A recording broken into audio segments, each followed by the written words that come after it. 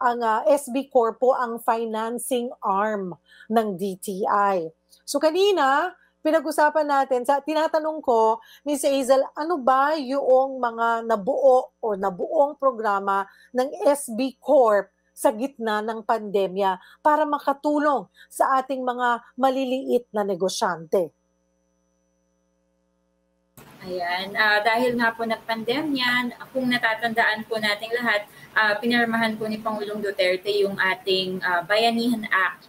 So with that Bayanihan Act, nabigyan po ng karagdagang pondo ang Small Business Corporation at para po matulungan yung ating mga MSMEs na makabawi at matu- uh, magpatuloy po sa kanilang operations kahit na po pandemya.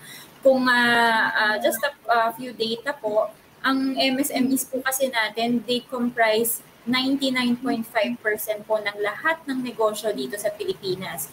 So, nung nag-start po yung pandemic, almost 40% po sa kanila ang nagsara.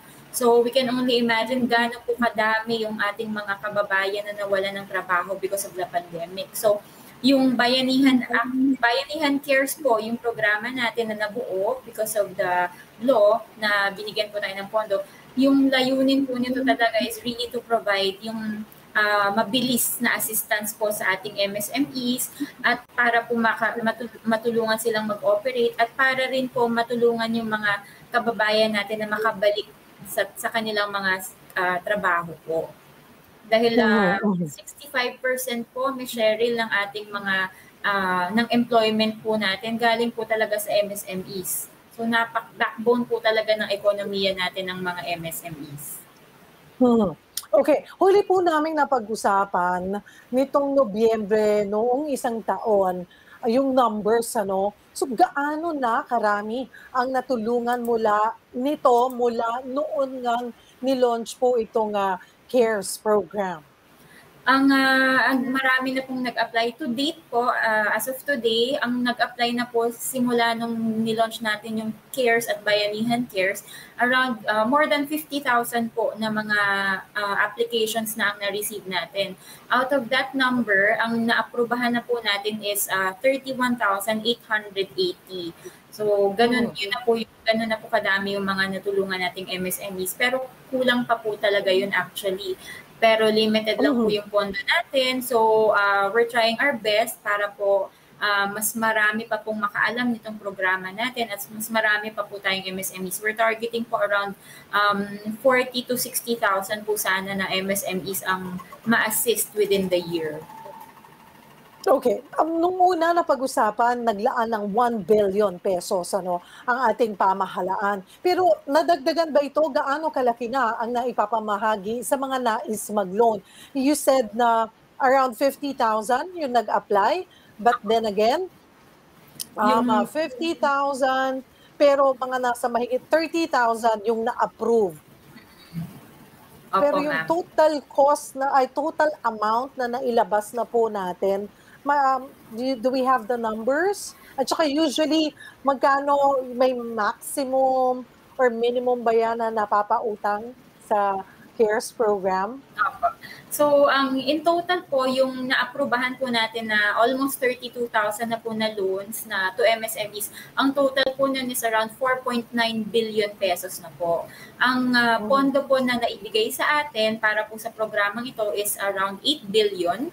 So out of that 8 billion, uh, naka 4.9 na billion na po tayo na uh, approvals in terms of uh, loan applications po. Oo. Sino-sino? Ito ang tanong ng marami. Sino-sino ang maaaring mangutang sa ilalim ng CARES program? Iniisip ng iba, may sari-sari store lang ako eh. Pwede kaya yun? Kahit na 5,000, 10,000 pansimula man lang or 20 mil? Or kunwari, Naku, kasi simula ko lang ng online business ko.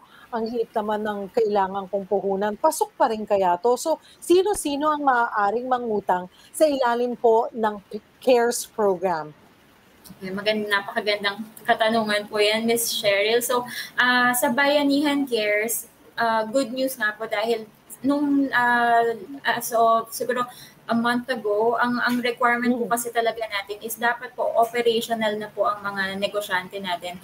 One year before, uh, nag, nag-impose po tayo ng community quarantine which was March 2020.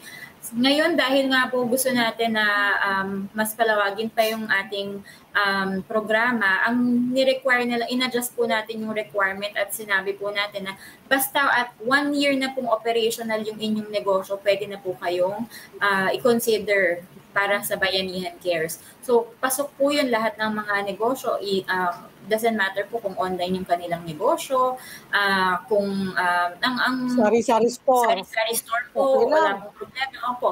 Kung meron po silang uh, piggery, for example, or may may uh, nagtatanim po sila. So wala pong problema. Ang hindi lang po natin tinatanggap ay yung mga negosyo po na uh, kabilang sa yung, yung kung ang negosyo po nila ay um, uh, connected po sa sugal, sa bisyo. So, yun lang po yung hindi natin uh, mapapautang under Bayanihan Cares.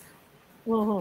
And then, uh, again, yun lang, ganun kasimple. Kung nasa may isang taon na po kayo, at kailangan, of course, yung business permit.